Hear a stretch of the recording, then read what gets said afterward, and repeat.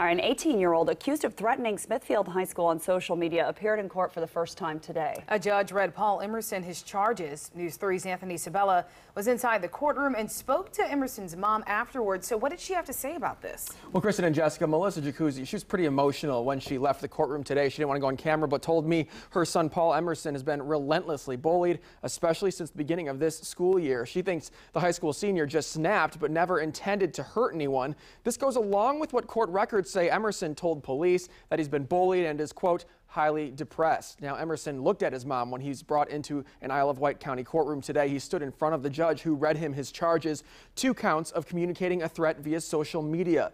Investigators say the threat was discovered at Smithfield High School around lunchtime two weeks ago, and court documents show it was made using Snapchat, where Emerson is accused of saying, quote, I got my AR, so I'm more than able to kill. It's people at my school and people over at Windsor, Windsor High School, end quote. Now, through their investigation, Isle of Wight County Sheriff's deputies removed an AR-15 rifle from Emerson's home, along with two loaded magazines, ammunition, cell phones, and other electronics. His next court date is in January, and he's currently in the Western Tidewater Regional Jail. Now, Jacuzzi Emerson's mom, she was also charged in this case with, was with obstruction of justice. She told me that's because she refused to let investigators look through her tablet and her phone Jacuzzi says she hopes her son can get out of jail and into mental health treatment. She also told me their family is now receiving threats as a result of her son's arrest.